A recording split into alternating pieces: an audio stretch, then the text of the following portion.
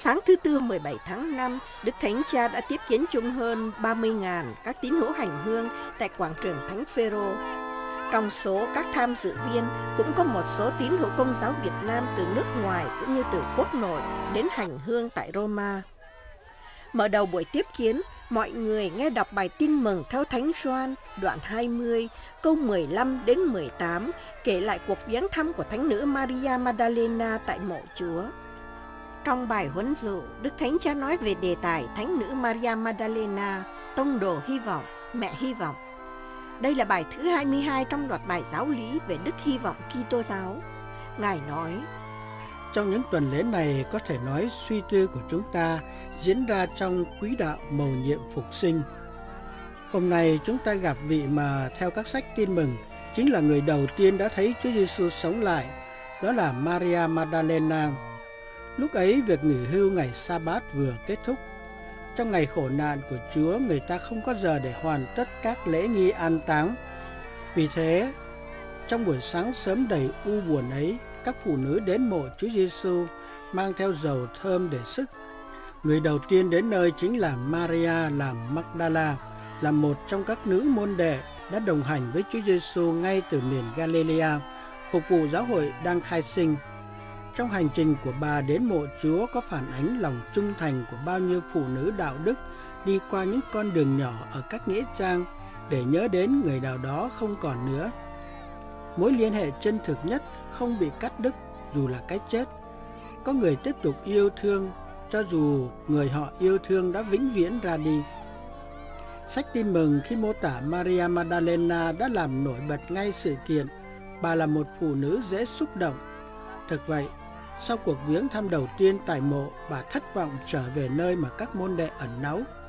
Bà kể lại rằng tảng đá chắn lối vào mộ đã bị đẩy sang một bên và giả thuyết đầu tiên của bà là giả thuyết đơn giản nhất mà người ta có thể đề ra. Đó là có người nào đó đã lấy trộm xác Chúa Giêsu.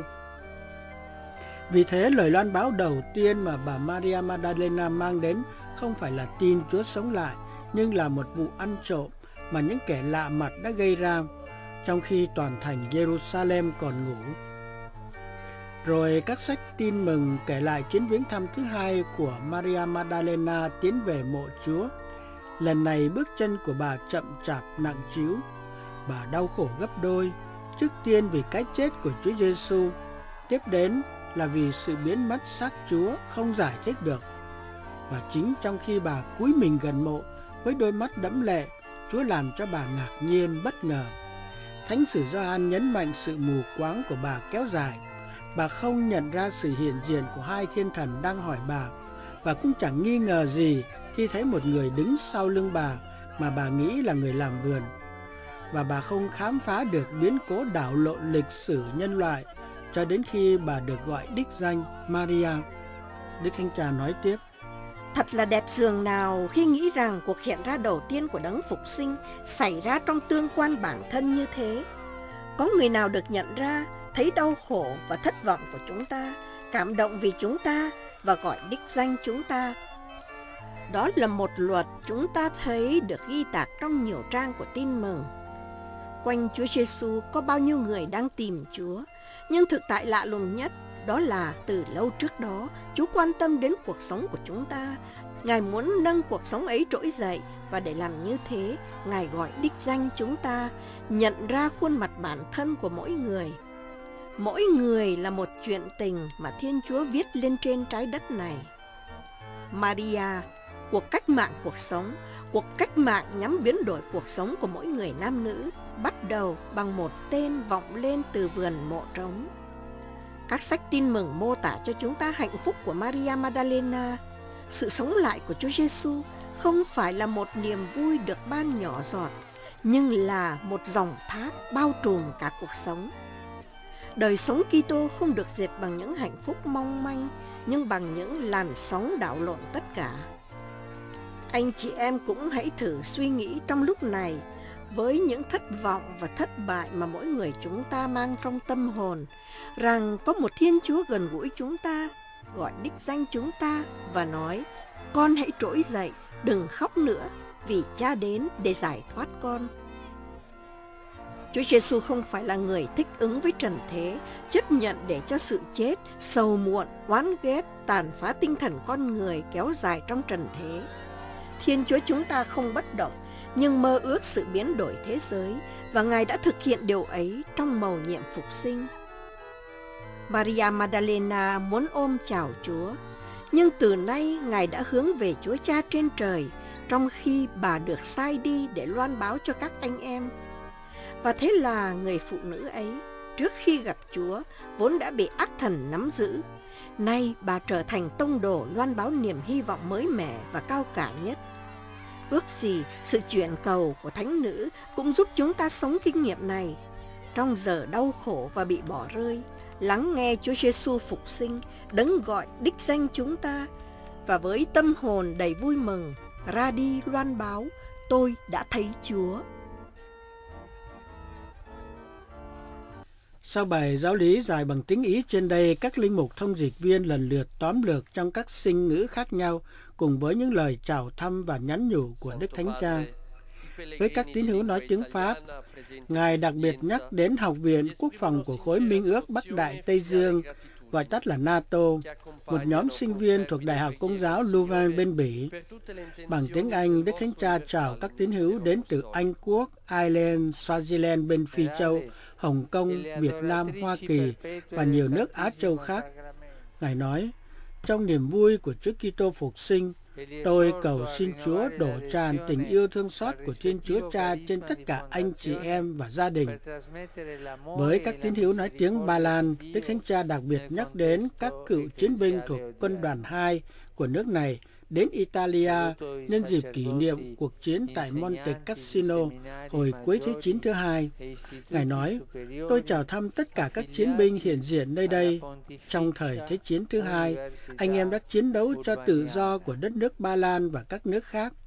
Ước gì nỗ lực dấn thân, sự hy sinh mạng sống của các bạn đồng đội, sinh hoa kết trái, với hòa bình tại Âu Châu và toàn thế giới. Tôi chân thành ban phép lành cho tất cả anh chị em hiện diện ở đây và gia đình anh em. Sau cùng với các tín hữu nói tiếng Ý, Đức Thánh Cha chào thăm các thừa sai dòng thánh mông pho nhân dịp tổng tu nghị. Các nữ tu dòng thờ lại mình thánh chúa liên tục và Ngài nhắn nhủ họ hãy canh tân lòng gắn bó với đoàn sủng sáng lập của mình để thông truyền tình thương và lòng thương xót của Chúa trong bối cảnh xã hội ngày nay. Đức Thánh Cha chào thăm các linh mục giáo sư, các đại trưởng viện và các trường cao đẳng được tháp nhập vào Đại học Giáo hoàng Urbaniana của Bộ Truyền giáo ở Roma. Khi chào các bạn trẻ, Đức Thánh Cha nhắc đến lễ kính thánh Pasquale Bilon, bổn mạng của các hội thánh thể. Ngài nói, ước gì lòng kính mến của thánh nhân đối với thánh thể chỉ cho các con tầm quan trọng của đức tin nơi sự hiện diện thực của Chúa Giêsu trong thánh thể. Đức Thánh Cha cũng cầu xin mình Thánh Chúa nâng đỡ các anh chị em bệnh nhân trong việc đương đầu với những thử thách trong thanh thản và đồng thời cũng là lương thực cho các đôi tân hôn hiện diện tại buổi tiếp kiến trong sự tăng trưởng về mặt nhân bản và tinh thần của đời đời sống gia đình mới. Cuối buổi tiếp kiến, Đức Thánh Cha và mọi người đọc kinh lạy cha và Ngài ban phép lành cho họ. Kính mời quý vị hiệp ý cầu nguyện với Đức Thánh Cha và lãnh nhận phép lành của Ngài.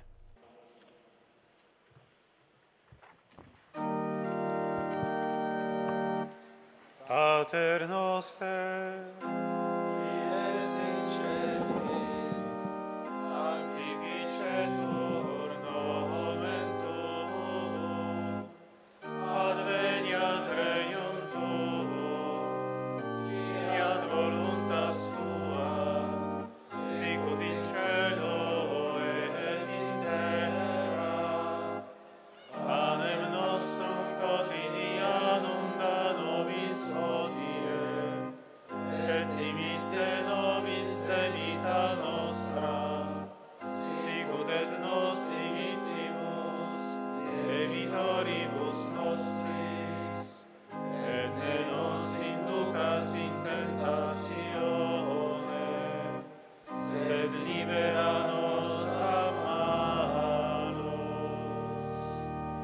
Domino Hovisum.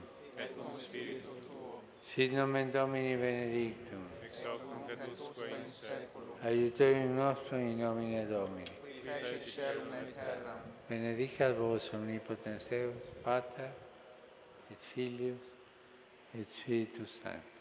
Amen.